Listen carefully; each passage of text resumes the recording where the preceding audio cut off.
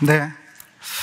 안녕하세요. 저는 AWS에서 네, Solutions Architect로 근무하고 있는 이일구라고 합니다. 주로 retail 고객분들의 이런 클라우드 여정에 도움을 드리는 역할을 하고 있고요. 오늘은 클라우드를 통한 온오프라인 비즈니스의 통합, GS 리테일의 현대화라는 주제로 GS 리테일의 플랫폼 현대화 팀장님이신 주길재 팀장님과 함께 세션 진행해 보도록 하겠습니다. 네, 오늘의 아젠다입니다. 총 8가지고요. 우선 제가 GS 리테일이 어떤 비즈니스를 하고 있고 클라우드 여정을 어떻게 해왔는지 그리고 retail 시스템의 일반적인 구성이 어떻게 되는지에 대해서 설명을 드릴 예정이고요. 그리고 총 오늘 세 가지의 플랫폼 현대화 관련된 얘기를 드릴 건데 그 중에서 데이터 플랫폼 관련된 얘기를 드릴 예정입니다.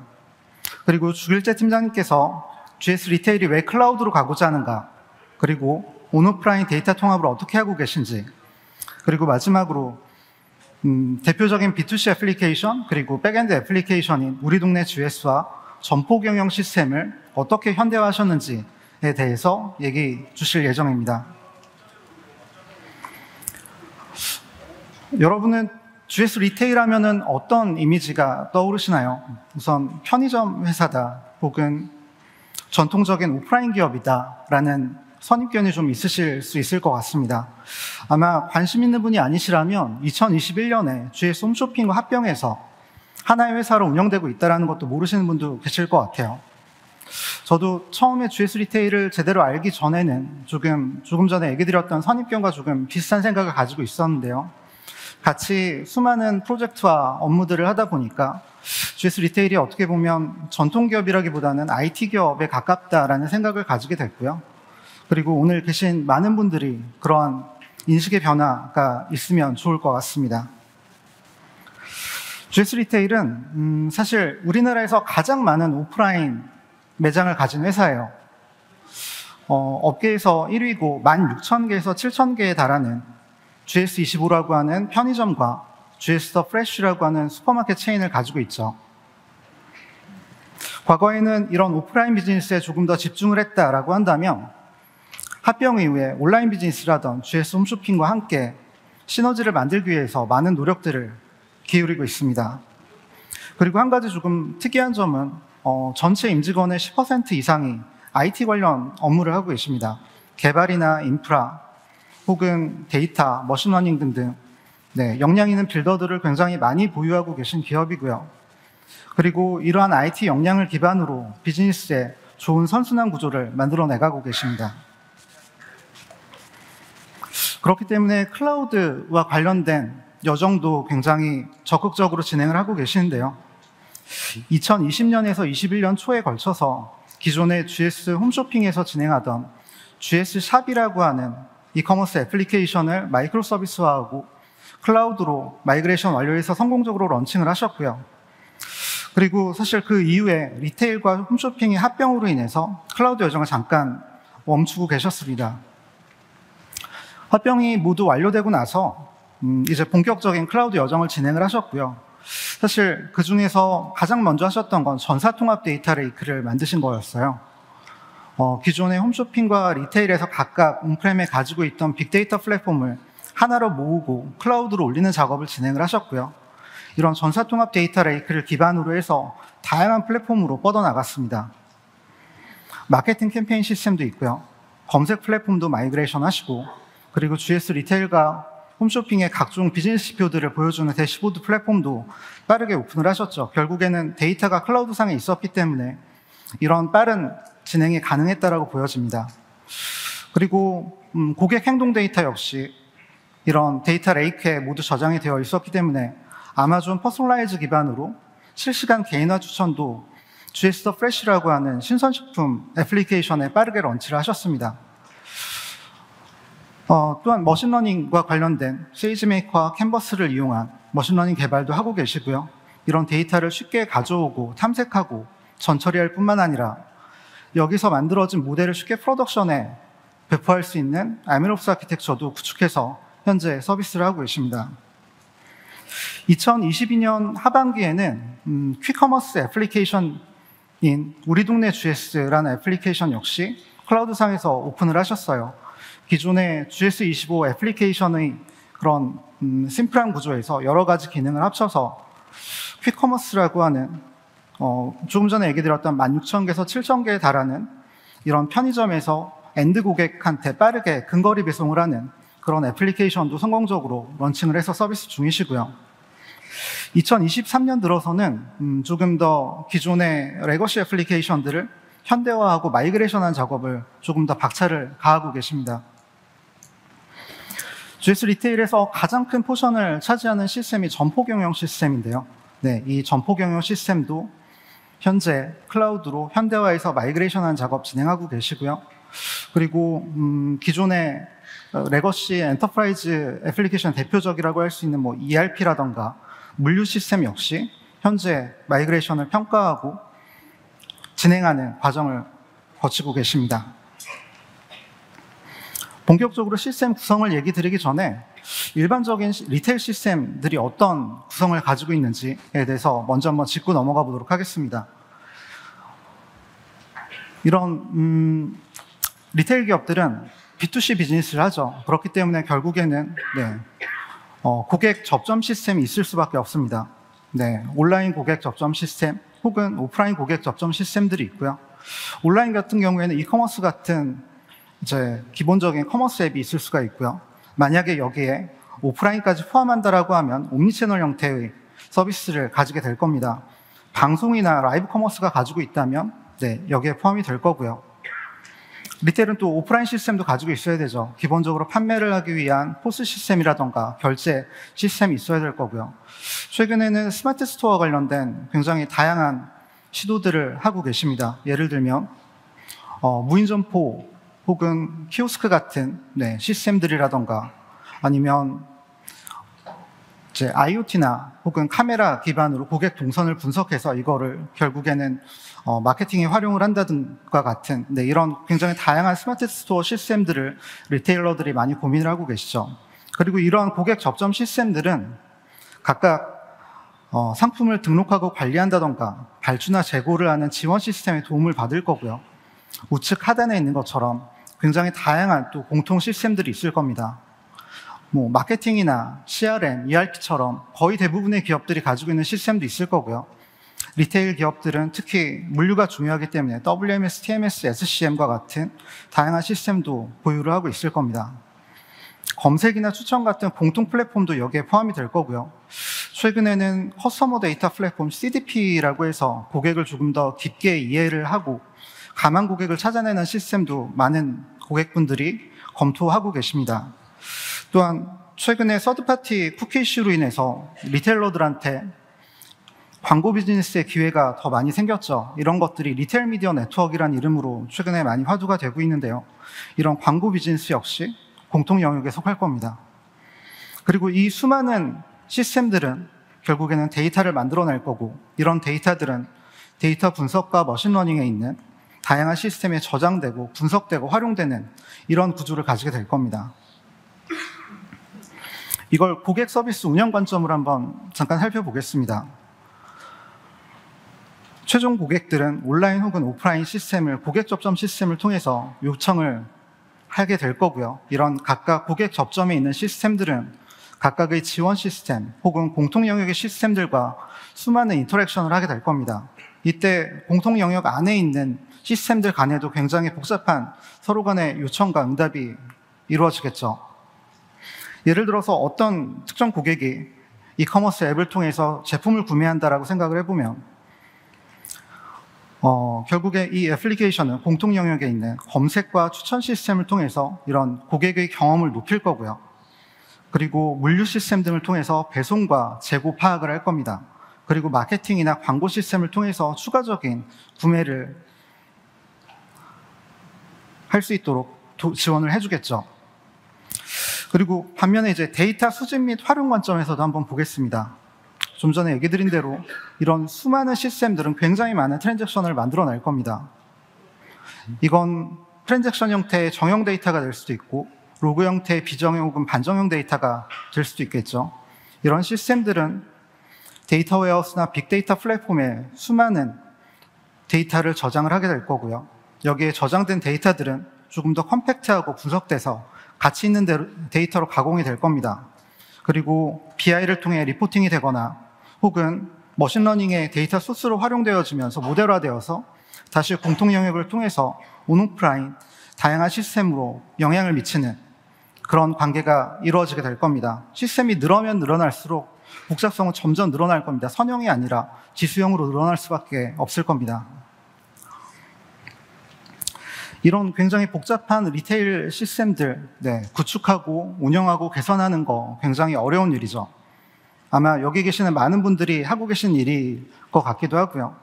저희는 복잡한 시스템을 굉장히 안전하게 또 빠르게 연결해야 되고 급격하게 늘어나는 데이터도 저장을 해줘야 되죠. storage를 무작정 늘릴 수는 없잖아요. 네, 적절한 아키텍처 정책 같은 것도 수립을 해줘야 되고 비즈니스 요구사항도 빠르게 반영해야 됩니다. 그리고 효율적이고 탄력적으로 resource도 제공을 해드려야 되죠.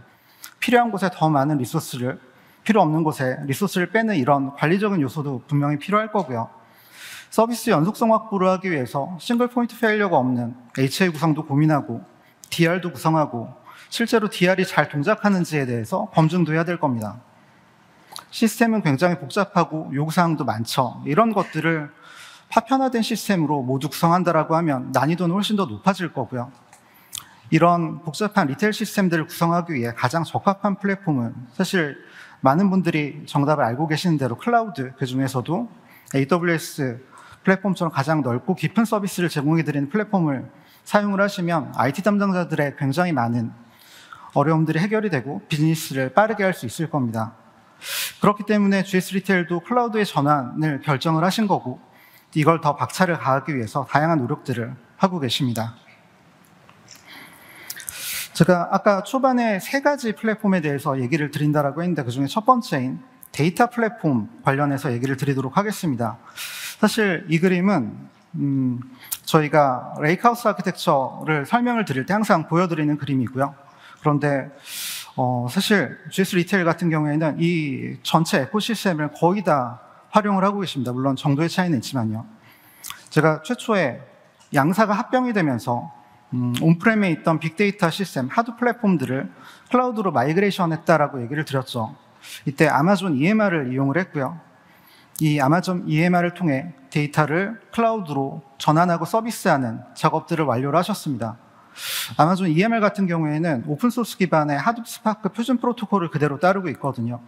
그렇기 때문에 migration 난이도 도 낮아질 수밖에 없고 실제로 서비스를 제공함에 있어서도 변경사항을 최소화하면서 네, 제공을 할 수가 있습니다. 이때 데이터는 Amazon S3에 저장이 되고요. 그런 얘기는 아무리 많은 데이터가 들어오더라도 충분히 수용할 수 있다는 의미겠죠. 그리고 그냥 단순히 저장하는 게 아니라 어, 라이프, 라이프 사이클 관리를 하면서 네, 비용 효율적으로 데이터를 저장해서 네, 사용을 하고 계십니다. 그리고 이러한 data lake가 커지게 되면 점점 많은 조직에서 데이터를 요청을 하게 될 거고요. 이때 필연적으로 데이터에 대한 접근 권한 관리 이슈가 생길 수밖에 없을 겁니다. 특정 부서는 특정 데이터에 접근을 해야 되거나 혹은 하지 않아야 되거나 이런 요구사항들이 굉장히 많이 생기겠죠. 어, 이런 요구사항들에 대해서 AWS 레이크 포메이션을 이용해서 GS 리테일은 현재 접근 권한 관리를 하고 계십니다. 그리고 SQL 정형 분석 query가 필요하다라고 하면 Amazon Athena를 이용해서 ad hoc query를 하시거나 조금 더 복잡한 query가 필요할 경우에는 Amazon Redshift를 이용하고 계세요. 이 특히 Amazon Redshift 같은 경우에는 최근에 모던 데이터 아키텍처와 관련된 수많은 feature들이 굉장히 빠르게 release가 됐거든요. serverless라던가 혹은 federation query 아니면 최근에 zero ETL 같은 feature들도 계속 나오고 있고 이런 부분을 GS 리테일과 저희 AWS가 계속해서 어, interaction을 계속하면서 이 부분이 고객 환경에 적합한지 검토하고 적용하는 과정을 계속해서 거치고 있습니다. 이런 machine learning 환경이랑 개발 환경과 관련해서도 데이터가 data lake에 저장이 되어 있죠. 이걸 SageMaker, SageMaker, SageMaker Canvas 기반의 machine learning 플랫폼을 이용 해서 데이터를 쉽게 가져올 수가 있고요. 전처리하거나 탐색할 수가 있습니다. 그리고 여기서 만들어진 모델을 최종적으로 production에 deploy하기 위해서 MLOps architecture 역시 잘 구성해서 현재 서비스를 하고 계십니다. 비즈니스 IT가 점점 빨라질 수밖에 없는 구조인 것 같습니다. 제가 소개드릴 내용은 여기까지고요. 마지막으로 음, 캐나다 우주비행사인 크리스 해드필드가 했던 얘기 한 가지 소개해 드리려고 합니다. 어, 가치 있는 일에는 거의 다 위험이 따른다라고 하죠. 어, 창업이나 독립 혹은 결혼을 할 때도 마찬가지다라고 하고 우주비행할 때도 그렇다라는 얘기를 했는데요. 어, 여기를 클라우드 전환을 할 때로 바꿔도 굉장히 좋은 얘기가 될 것 같습니다. 지금 현재 GS 리테일을 보다 가치 있는 회사로 만들기 위해서 이런 리스크와 열심히 싸우고 계신 주길재 팀장님 소개드리도록 하겠습니다. 네, 안녕하세요. GS 리테일에서 플랫폼 현대화를 동료들과 함께 하고 있는 주길재라고 합니다. 반갑습니다.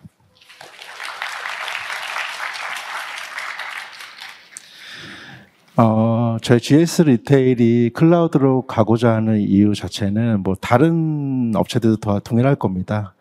결국에는 그 넷솔루션 자료인데요. 결국에는 저희가 그 비즈니스의 성장성하고 지속성을 확보하기 위함입니다.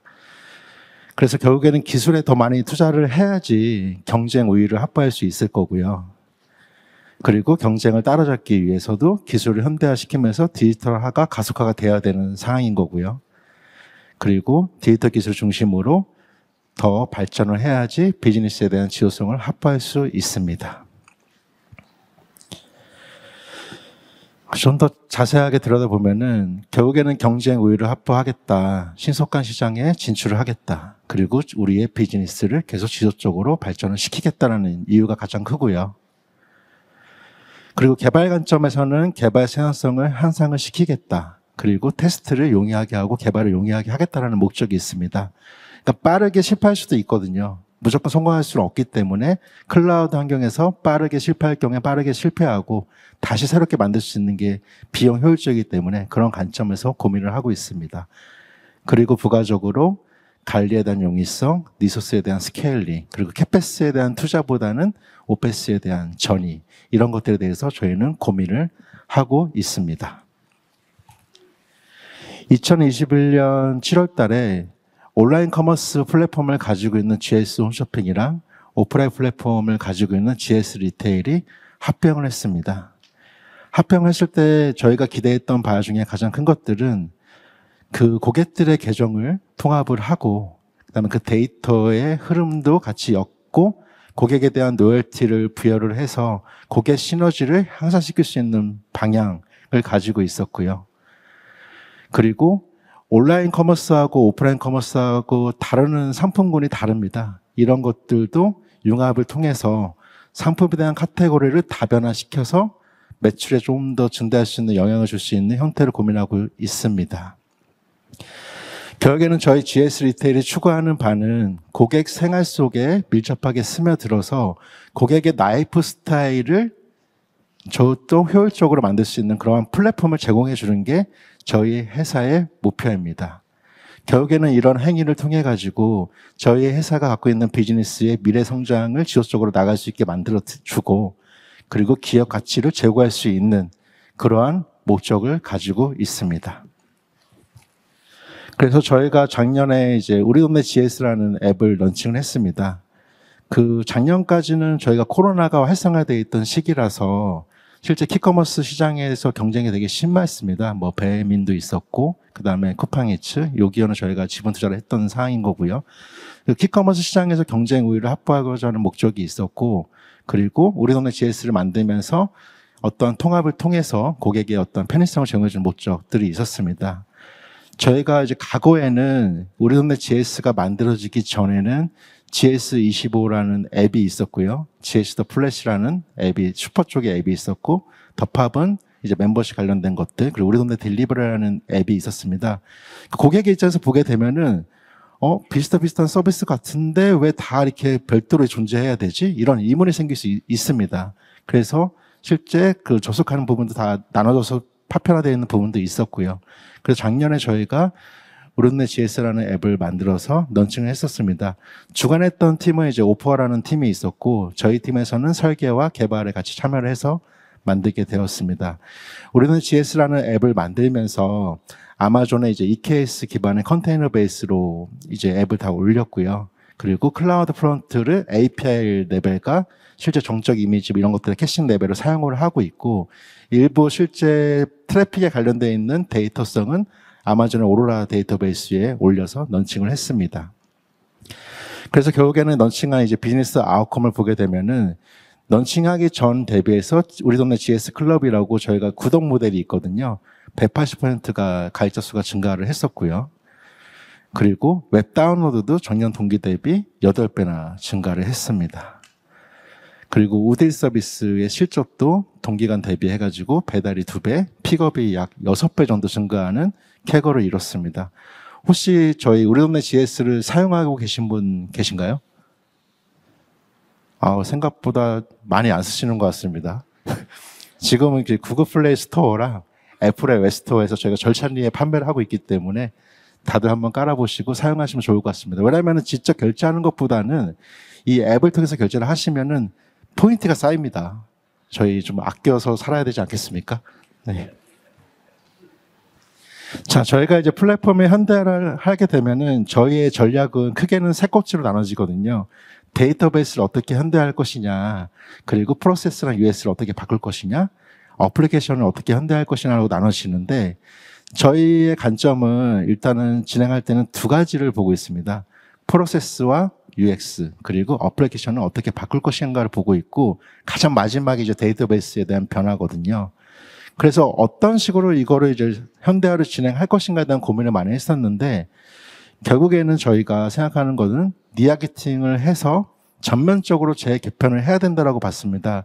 왜냐하면 현재 만들어진 시스템, 쓰고 있는 시스템이 잘못된 건 아닙니다. 잘 동작을 하고 있지만 10년 전의 시절에는 그게 최적의 방법이었지만 10년이 흐른 지금의 시점에서는 그게 최적이 아닐 수 있거든요. 그래서 현재 저희 생각은 전체적으로 리아키팅을 해야 된다라고 이제 바라보고 있습니다.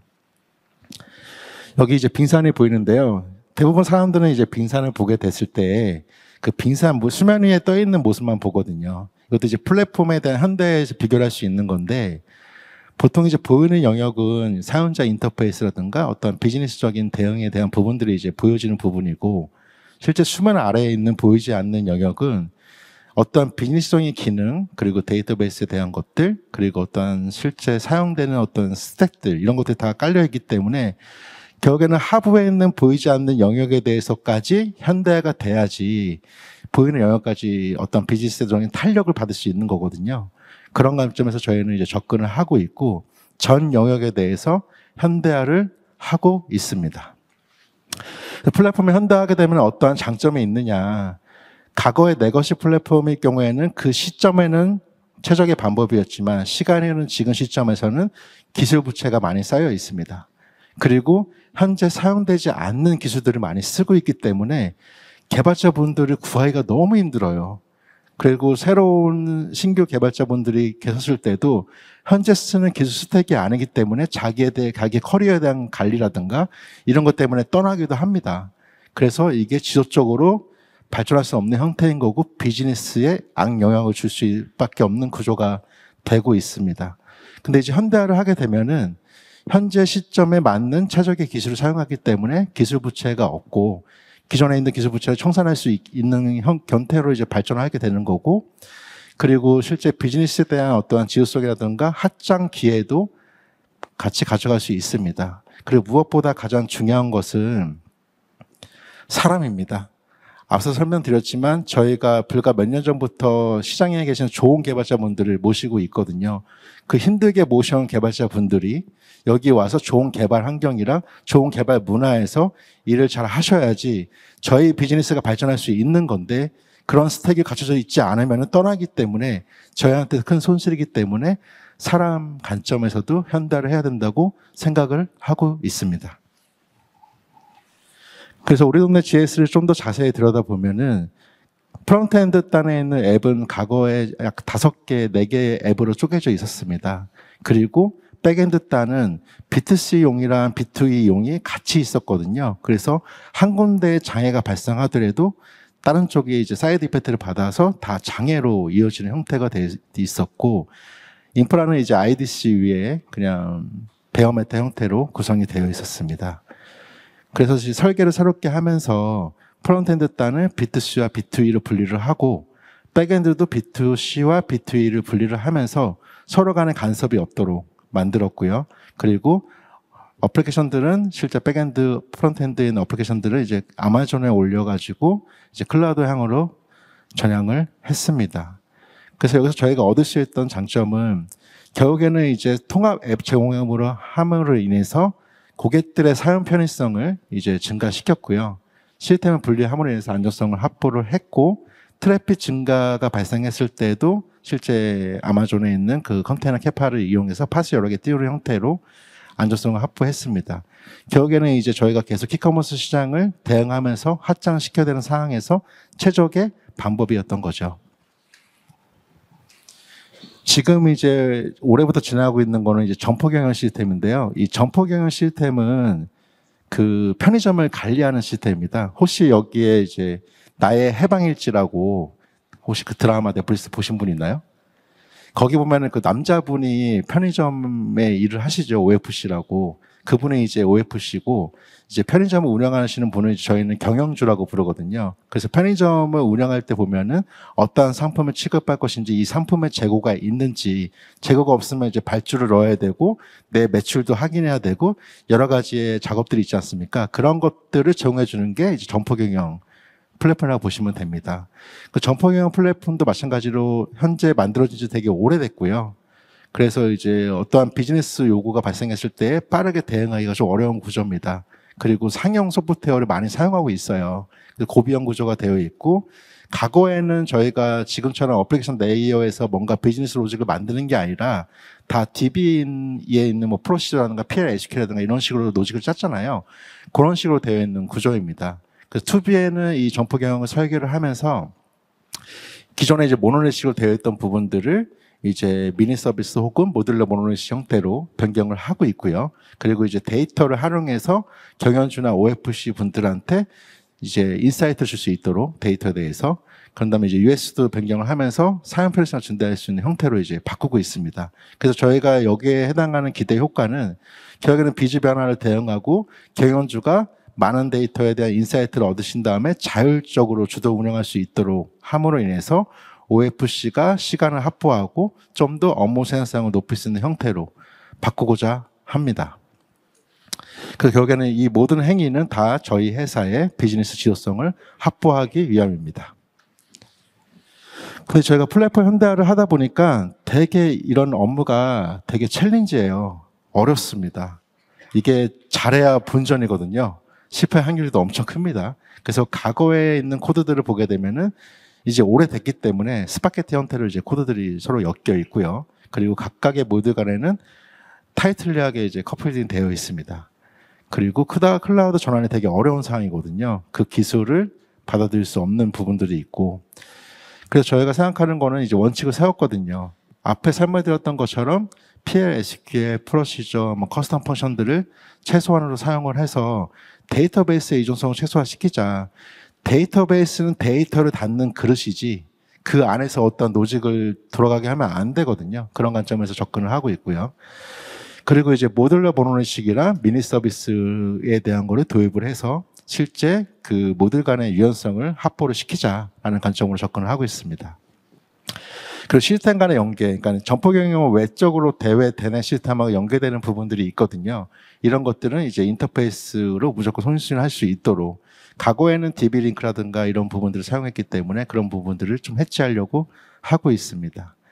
그리고 결국에는 리패키칭 확장. 저희가 이제 글로벌도 진출해야 되기 때문에 글로벌 시장에서는 현재 쓰고 있는 모듈이 안 맞을 수가 있고 변경될 수 있는 가능성이 높아요. 그 리패키칭 할수 있는 형태로 고민을 하고 있습니다.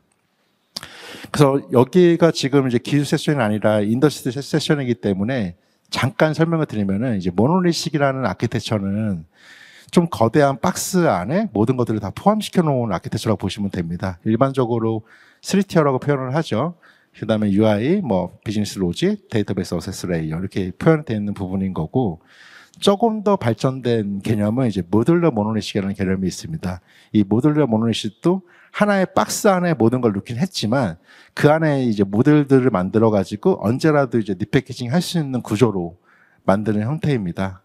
그리고 많이들 아시는 micro service라는 architecture가 있는데 이 micro service architecture 자체는 박스 안에 같이 있지 않고 다 독립되어 있는 형태로 존재를 하고 레고 블럭처럼 내가 원하는 레고 모양을 가지고 서비스를 만들 수 있는 그러한 유연한 구조를 제공해주는 아키텍처입니다.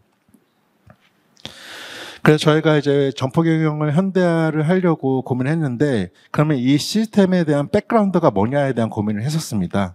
일단은 이게 B2C가 아닙니다. 점포 편의점을 운영하시는 경연주하고 OFC 분들이 사용하는 시스템이기 때문에 사용자 수가 정해져 있습니다. 그리고 낮게 낮은 부착성으로 만들어야 되고 이벤트 같은 게 자주 있지는 않습니다. 왜냐하면 사용자 수가 동일하기 때문에요. 그리고 글로벌을 고려해가지고 repackaging이 가능해야 되는 구조인 거고. 그래서 저희가 생각했던 거는 고민했었거든요. 아, 그럼 monolithic을 만약 만들어 버릴까? 근데 monolithic을 만들게 되면은 repackaging이 불가능하다고 볼 수 있거든요. 그래서 얘는 아닌 것 같고. 그럼 분산 아키텍처를 쓸까? 아, 다 수용이 될 수 있을 것 같긴 한데 배포 유닛의 개수가 되게 증가하기 때문에 복잡도가 많이 늘어날 것 같아요.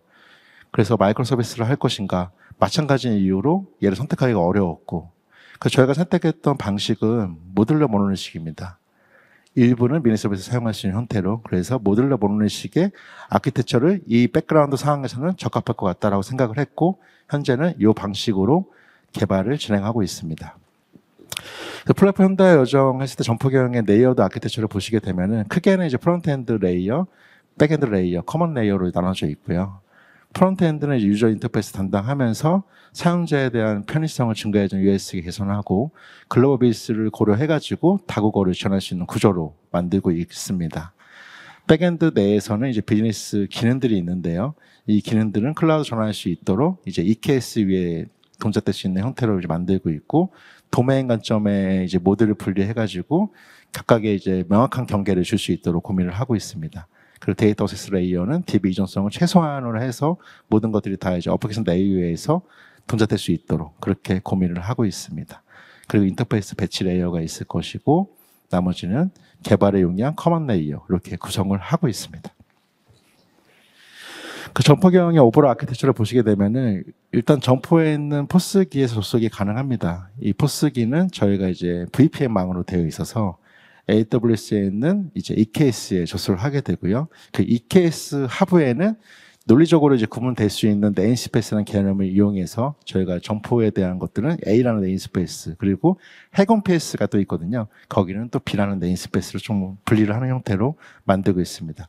이 안에는 앞에 설명드렸던 것처럼 modular monolith으로 한 꼬치를 만들어 놓고 그리고 분리될 수 있는 기능들에 대해서는 mini service 형태로 분리를 해서 약간 하이브리드 방식으로 작업을 진행하고 있고요.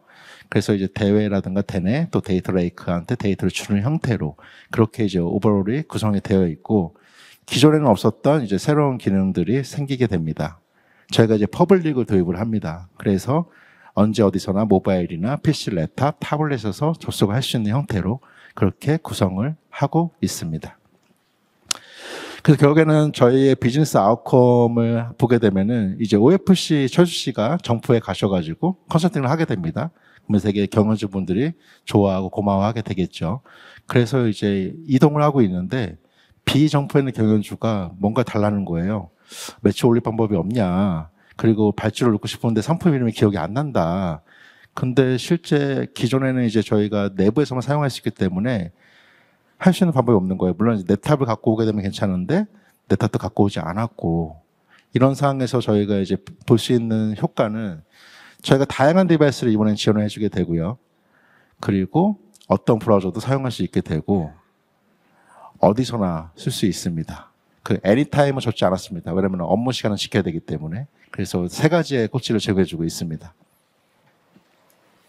결국에는 이러한 작업들이 OFC나 경영주분들의 업무 생산성을 올릴 수 있는 작업이거든요. 그래서 smart work 환경을 제공하겠다라는 게 저희의 많은 benefit 중에 한 가지를 들고 왔습니다.